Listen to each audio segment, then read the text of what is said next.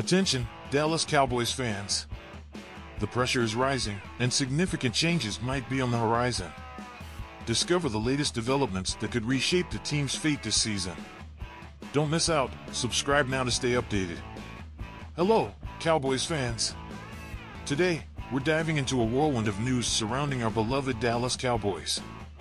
After a tough loss to the Detroit Lions, the heat is on Dak Prescott and the entire team as they sit at a frustrating 3-3.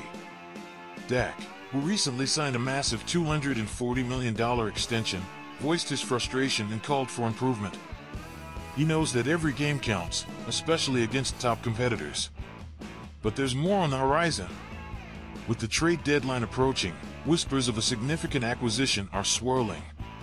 The Cowboys are reportedly eyeing H. Reddick, a star defender currently with the New York Jets. Reddick brings impressive stats, including four straight seasons with 11 or more sacks, making him a potential game-changer for our struggling defense. With key players like Micah Parsons and DeMarcus Lawrence facing injuries, the urgency to fortify our defense has never been greater.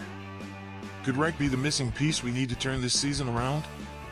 Stay tuned, Cowboys Nation, because this could be the bold move that revitalizes our team. What do you think? Will Dak Prescott and H. Reddick elevate the Cowboys to new heights? Share your thoughts in the comments below.